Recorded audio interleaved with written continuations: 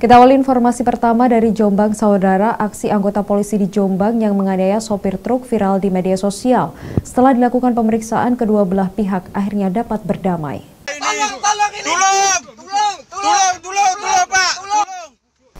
Inilah video amatir tindak kekerasan yang dilakukan oleh anggota Satlantas Polres Jombang.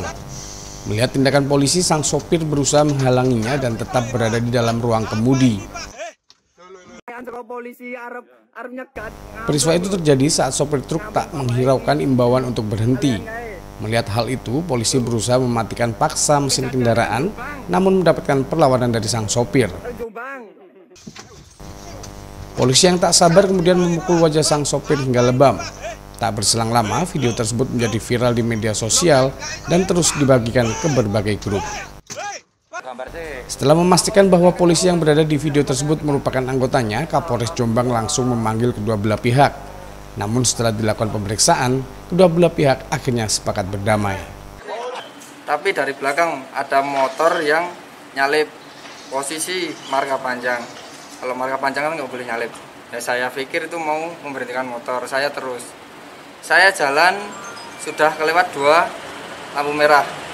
Otomatis sudah jauh, saya melihat kesepian tidak ada begitu bapak polisi menempel di belakang saya totot saya sen kiri sen kiri saya buka kaca langsung di Sementara itu Kapolres Jombang mengaku akan tetap melakukan proses pemeriksaan kode etik terhadap anggota Satlantas yang melakukan aksi kekerasan terhadap sopir. Meski telah dilakukan pemeriksaan terhadap kedua belah pihak, pemicunya adalah karena adanya kesalahpahaman.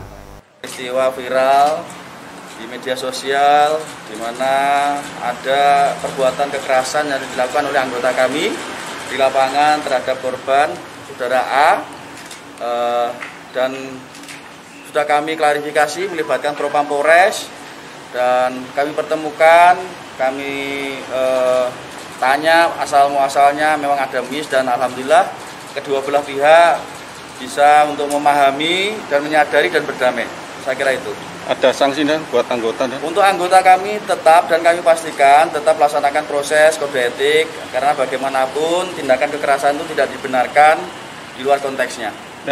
Muhammad Safiuddin, Kompas TV, Jombang, Jawa Timur.